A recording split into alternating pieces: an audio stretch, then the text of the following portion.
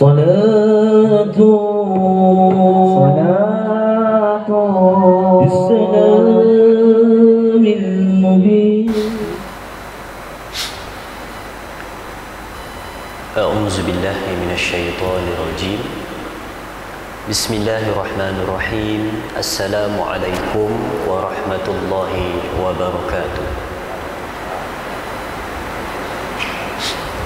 الحمد لله رب العالمين والصلاة والسلام على أشرف الأنبياء والمرسلين وعلى آله وصحبه أجمعين. سبحانك لا علم لنا إلا ما علمتنا إنك أنت العليم الحكيم.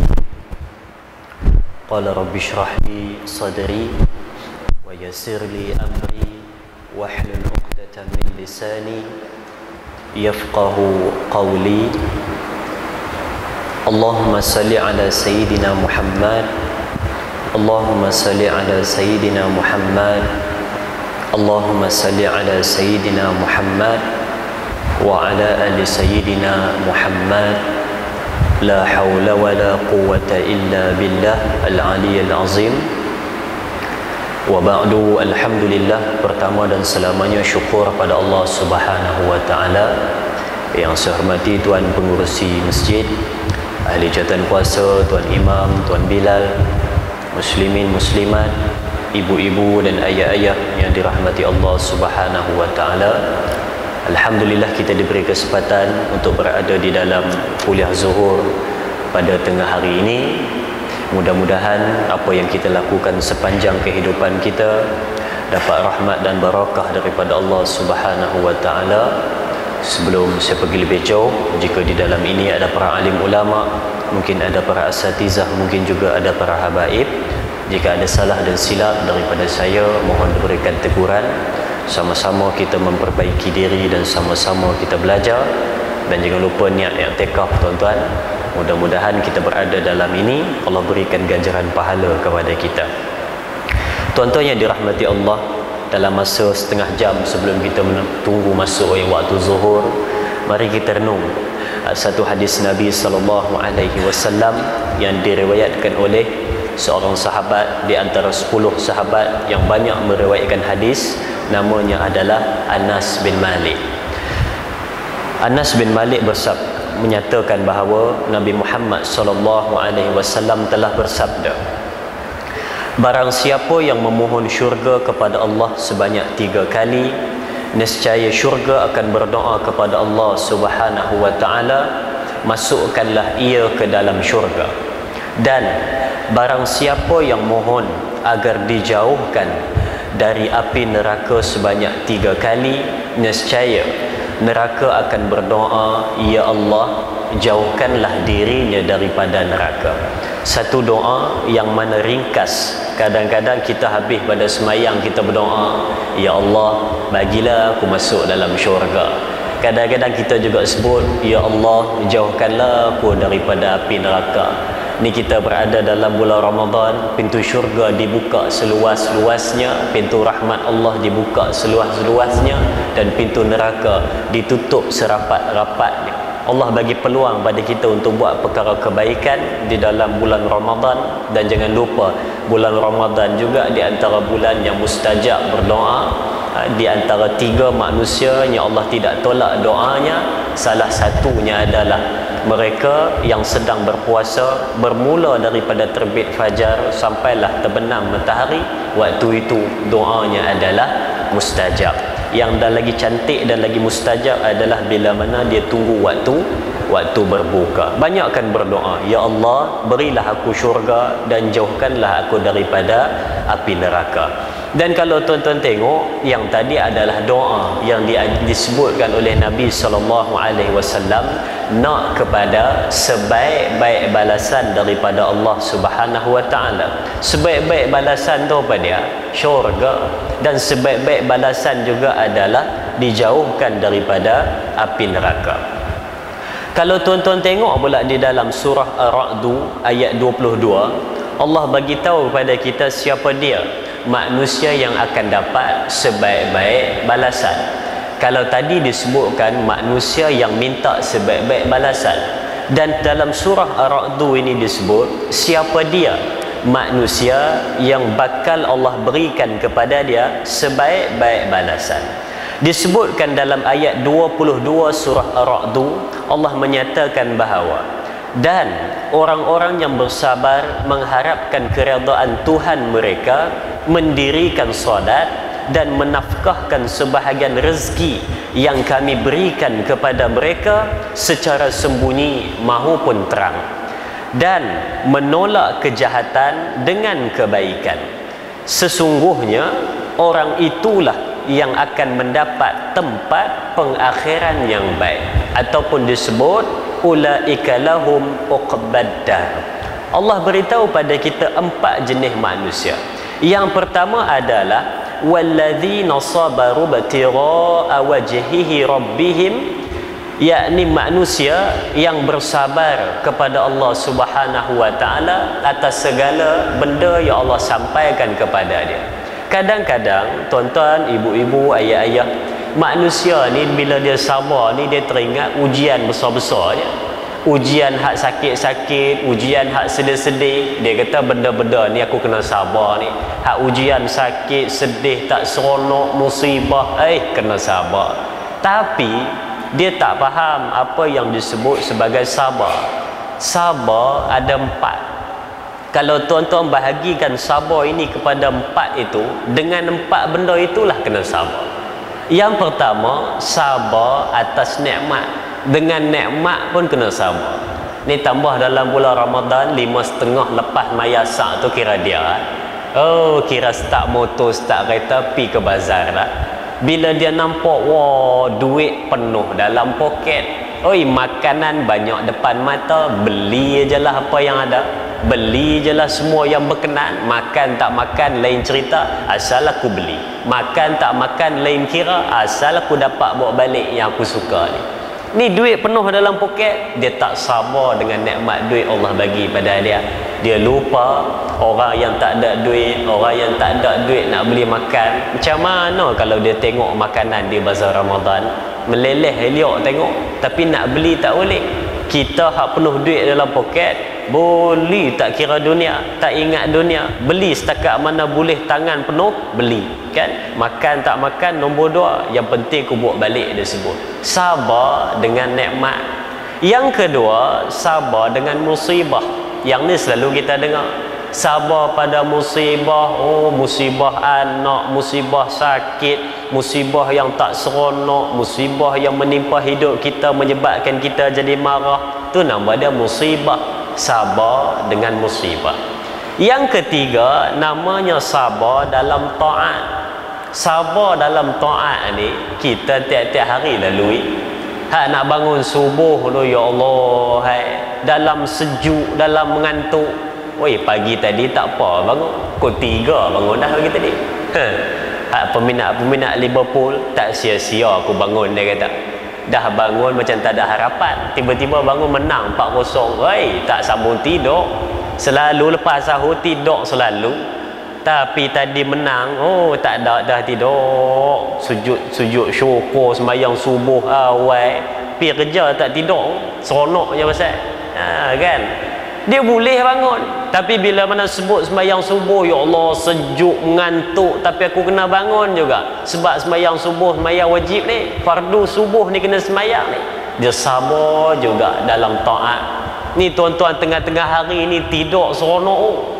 Kalau duduk di rumah dapat bantai satu. Tak ada bantai tak apa lengan pun jadi letak lengan bawah kipas tambah aircon pula. Oh sunyi pula rumah orang kedah kata habis meter seronok.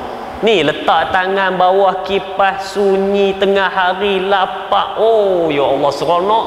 Tapi macam mana boleh sampai juga ke masjid? Sebab dia tahu oh walau penat macam mana pun semayang jemaah nombor satu penat macam mana pun sebelum zuhur nanti ada kuliah zuhur kena datang pi dengar majlis ilmu. Sabar dalam taat. Orang lain no. Dia kata tak apa apa nak puasa-puasa aku malas eh. oi makanan depan mata tak payah puasa dia kata. Tapi kita kata dak walaupun tak ada siapa nampak walaupun tak ada siapa tengok walaupun tak ada siapa melihat kalau aku makan. Bukan orang tahu pun duduk dalam bilik ayak minum ayak. Duduk dalam bilik makan kuih. Mana ada orang tahu tapi sebab sabar sikit aja lagi. Pukul tujuh nanti buka dah. Tu nama dia sabar dalam taat. Nu akak-akak belakang. Panas. Anak tudung tudung. Sagi semayang telekung kain telekung. Panas. Kadang-kadang kipas besar di sini bawah sana tak ada kipas besar. Angin kita lebih di sini angin dia kurang sikit situ panas tapi tetap semayang. Agak kadang-kadang kusyuk lebih pada kita. Sabar walaupun panas semayang. Sabar dalam taat. Dan yang ketiga sabar itu apa? Sabar bila mana maksiat datang depan mata. Maksiat datang depan mata aku boleh buat ni. Tapi sabar ni tak boleh buat. Aku kena tahan. Allah tak bagi Allah larang. Tuan-tuan lupa ke tujuh jenis manusia yang mana dapat naungan arash Allah salah satunya adalah seorang laki-laki ataupun seorang perempuan yang diajak oleh laki-laki ataupun diajak oleh perempuan untuk berzina. Tapi dia sebut aku takut pada Allah. Aku tak nak buat aku sabar diri aku aku tak nak buat benda ini aku takut pada Allah. Dapat naungan arash. Tu nama dia sabar dari maksiat. Saya ulang sekali lagi sabar atas nikmat sabar atas ujian musibah sabar dalam taat dan juga sabar di atas maksiat. Itu manusia nombor satu yang Allah sebut pada kita manusia yang akan dapat ulaika lahum uqbaddar mereka akan dapat sebaik-baik balasan daripada Allah yakni syurga dan dijauh daripada neraka manusia yang kedua siapa dia disebutkan di sini? Wa aqamus salah. Manusia yang mendirikan solat. Saya jaga betul semayang. Dia jaga betul semayang dia. Manusia ni kadang-kadang dia di akhir zaman dia semayang dia agak ringan. Semayang tu dia buat alai balai je dia buat kisah tak kisah aja kalau dan semayang tak dan tak semayang kalau sempat semayang tak sempat tak semayang. Kalau dan kalau boleh aku semayang. Kalau tak larat tak semayang. Jangan. Ingat Imam Ghazali sebut di akhir zaman ni manusia ni semayang ringan. Di antara benda yang ringan semayang. Puasa-puasa semayang lah. Puasa-puasa cantik tapi semayang saat semayang saat tak semayang. Awal puasa semayang puasa kedua tak semayang. Semayang jaga betul-betul kadang-kadang kita sebut pasal apa dalam hidup saya ini buat semua benda jadi dah. Ada semua benda betul dah. Duit banyak pun dia dah. Family ada pun dia dah. Tapi pasal apa hidup saya tak tenang? Sebab sembahyang. Pasal apa hidup saya ni celaru masalah banyak kadang-kadang tak terurus? Masalah ada sembahyang. Sembahyang jaga elok-elok. Rok macam mana kita pun sembahyang jangan tinggal nakai macam mana kita pun sembahyang jangan tinggal sebab sembahyang itulah yang menjaga kita dan juga ialah yang membezakan kita dengan orang kafir beza Tengok tuan-tuan kalau orang dia jaga semayang perangai elok. Kalau orang ni dia jaga semayang masa dalam hidup dia diurus elok. Sebab tu Allah sebutkan di sini yang nombor dua selepas daripada sabar adalah sembahyang. Jaga betul-betul. Baik. Dan yang seterusnya disebutkan di sini siapa dia manusia yang bakal mendapatkan sebaik-baik balasan mereka adalah orang yang menafkahkan sebahagian daripada nikmatnya Allah berikan kepada mereka secara terang-terang mahupun sembunyi. Disebutkan kata kuncinya di situ dia infakkan rezekinya Allah bagi pada dia dalam keadaan terang-terang mahupun sembunyi.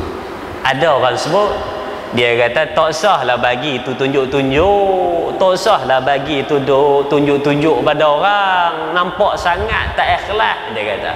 Dia dalam buat benda baik kadang-kadang kena tunjuk. Tapi ingat kadang-kadang kena tunjuk sebab nak bagi contoh kepada orang. Nak bagi contoh kepada orang. Ha? memang disebut pada kita bagi seperti mana tangan kanan tak tahu apa yang tangan kiri kamu bagi. Nak tunjuk punya sembunyi-sembunyi tapi kadang-kadang perlu juga diwar-warkan. No kadang-kadang kita buat majlis buka puasa kan ada tulis siapa dia sponsor siapa dia sponsor. Hari puasa pertama abang mat. Hari puasa kedua bang din. Hari puasa ketiga sate kak nak. Sponsor-sponsor Kenapa tulis di situ? Sebab nak tunjuk pada orang, nak bagi tahu, ni depa boleh bagi pasal apa kita? Depa boleh sponsor pasal apa kita tak boleh. Bukan nak menunjuk, tapi nak jadikan contoh kepada kepada orang lain. Kita datang masjid surau, bukan kita nak menunjuk ke orang kita baik, tapi kadang-kadang kita nak menjadi contoh. Kalau orang lain tak datang, kalau tak ada orang macam mana? Saya guru saya selalu pesan dulu masa saya belajar dia sebut bila mana kita dengar lawangan azan dalam hati ni selalu dia akan keluar oh ada ada tok bilai sana tak sapi ya Hei, ada ada orang di masjid. Tak apa, aku tak pi, tak apa. Jangan tanam benda itu dalam hati. Dia kena tanam ayat lain. Ayat apa? Kalau aku tak pergi, tak ada orang macam mana? Kalau aku tak sampai, tak ada orang macam mana?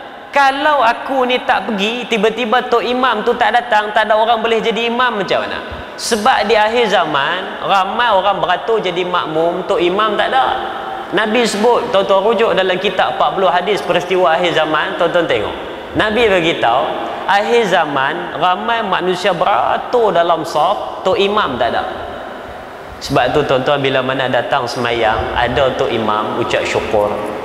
Habis-habis semayang salam Tok Imam ucap terima kasih. Terima kasih Tok Imam. Jadi imam semayang kami ada lagi Tok Imam. Terima kasih Tok Imam. Ada lagi sanggup jadi imam di masjid kita. Ucap terima kasih ucap syukur ujung-ujung Ramadan salam lagi sampai sikit kat Tok Imam baru semangat dia jadi imam ha, kan? Tapi kadang-kadang kita buat tak kisah aja dia. Ni duduk dalam soh beratur seorang-seorang tolak kamu lah jadi imam. Aku tak reti. Kamulah jadi imam. Aku tak boleh. Zohor boleh dia kata. Kamulah jadi imam. Aku ni tak boleh sangat. Imam tu okey lah doa tu tak apa reti. Doa pula tolak pula kamu reti tak doa aku reti kunut tu tak berapa apa kunut pula sebab tu akhir zaman tu imam tak ada di akhir zaman Nabi sebut pada kita baik disebutkan di sini siapa dia tadi bukan nak menunjuk tapi sebab nak jadi contoh kepada kepada orang lain. Baik. Disebutkan di sini. Mereka yang dikatakan tadi adalah orang yang boleh meninfakkan rezekinya Allah bagi kepada mereka dalam keadaan sembunyi maupun terang. Kalau tuan-tuan tengok di dalam ayat lain, Allah bagi tahu pada kita, Allah sangat suka kepada manusia yang berbuat kebaikan. Rujuk surah Ali Imran 133 134. Allah beritahu kepada kita alladzina yunfiquna fis sarai wad kita boleh kaitkan dengan apa yang dihuraikan tadi. Manusia yang meninfakkan rezekinya Allah berikan kepada mereka dalam keadaan susah maupun senang. Dalam keadaan sedikit maupun banyak. Dalam keadaan terang-terang maupun sembunyi. Ini manusia terbaik. Dan yang keempat siapakah dia manusia yang terbaik itu? Mereka adalah orang yang membalas kejahatan dengan kebaikan. Saya ulang sekali lagi mereka adalah orang yang menolak kejahatan dengan kebaikan.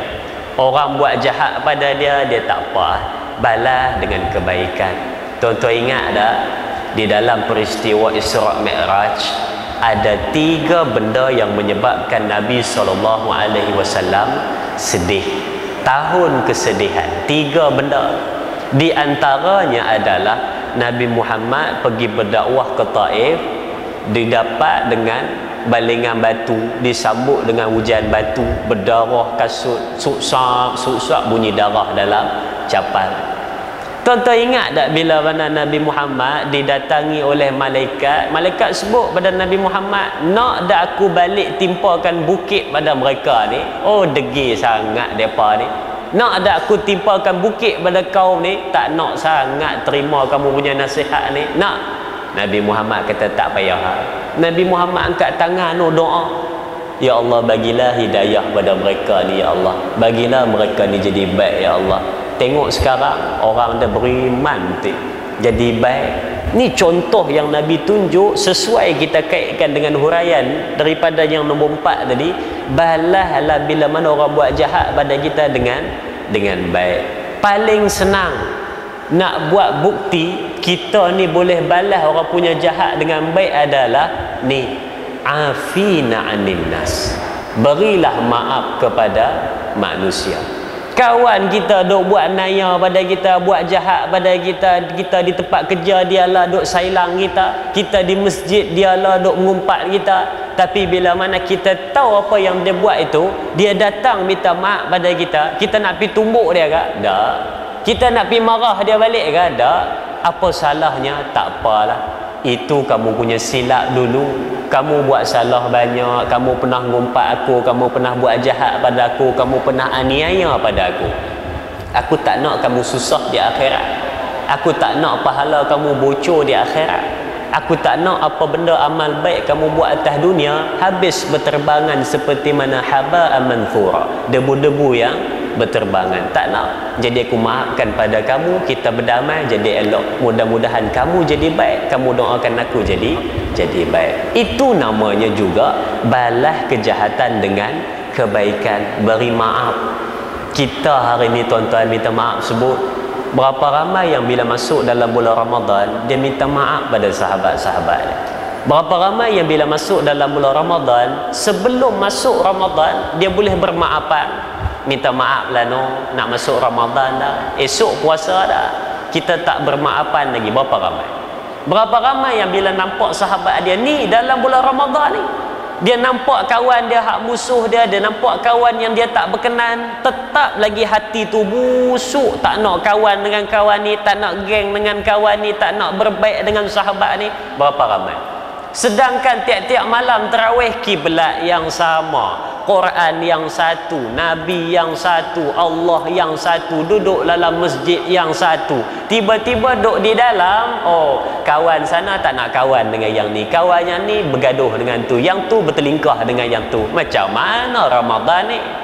Sedangkan masuk dalam bulan Ramadan itu berbaik-baik. Masuk dalam bulan Ramadan tu kita nak seronok-seronok. Masuk dalam bulan Ramadan tu tak nak ada musuh, tak nak ada hutang, tak nak ada penyakit hati, tak nak ada dosa-dosa besar dah ampun sebelum masuk Ramadan. Semoga Ramadannya jadi cantik, keluar daripada bulan Ramadan pun jadi manusia yang lebih baik daripada Ramadan tahun lepas kalau kita masuk dalam keadaan bukan ciri-ciri manusia bertakwa keluar daripada bulan Ramadan aku jadi manusia bertakwa.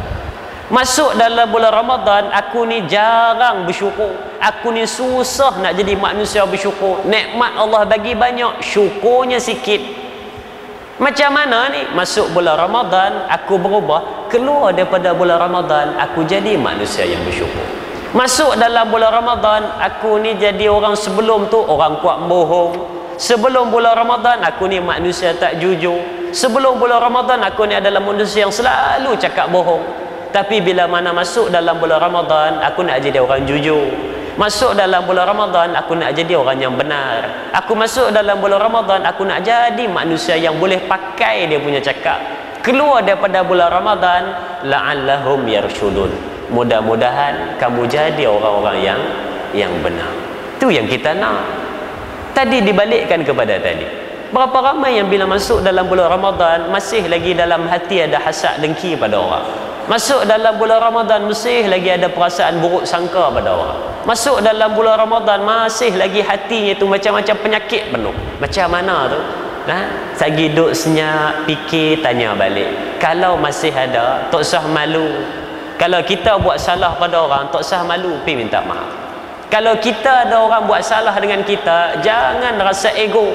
Kita pi maafkan dia. Walaupun dia tak minta maaf kita pi pada dia pi berbaik-baik dengan dia pi beramah mesra dengan dia. Mudah-mudahan kita dia faham.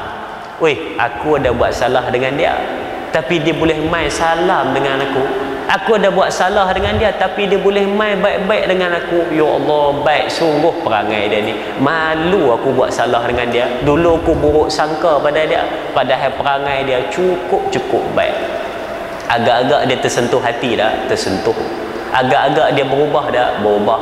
Kita nak nasihat orang tak semestinya dengan cakap. Kita nak nasihat pada orang tak semestinya kena keluar suara dah tuan-tuan buat tingkah laku yang baik pun orang tengok.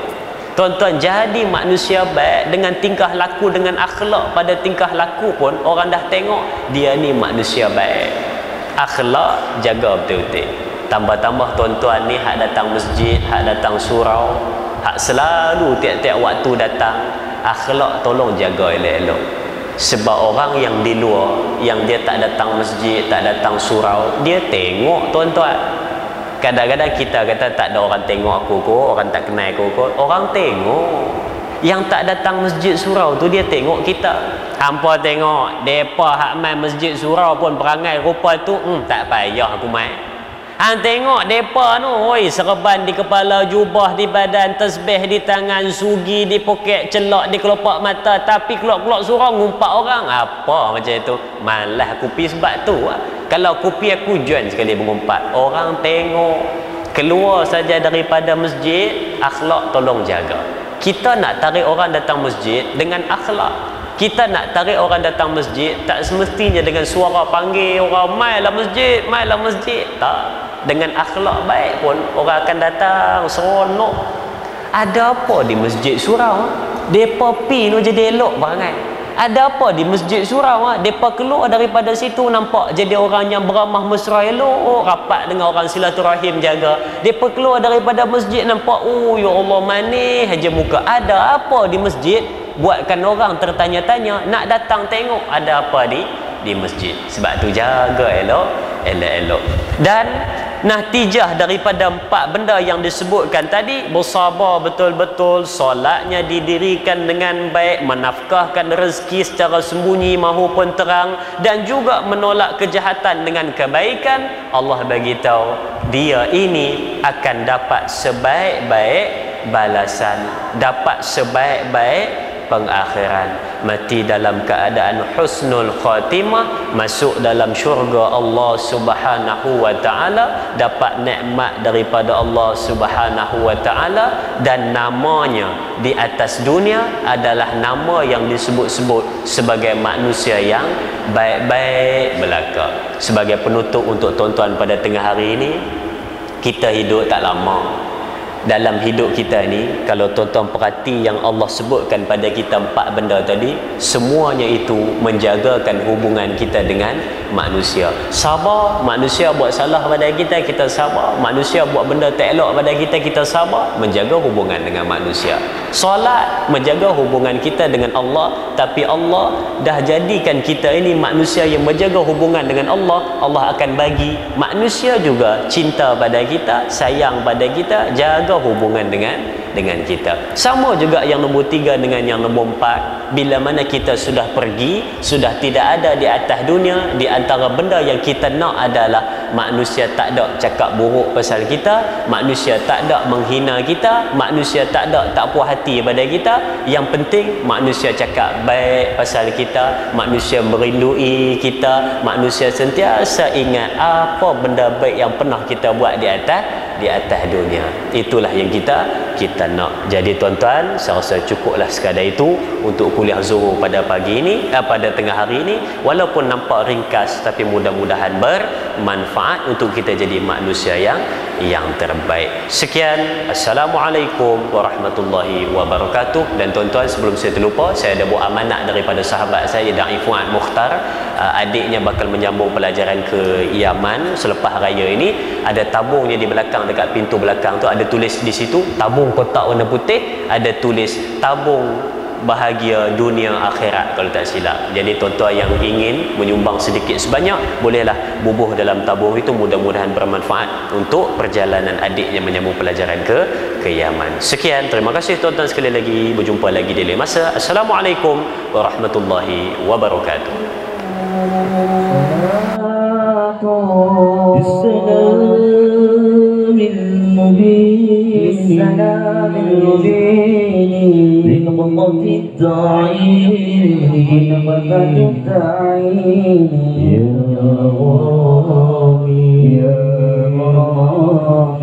صلاة صلاة.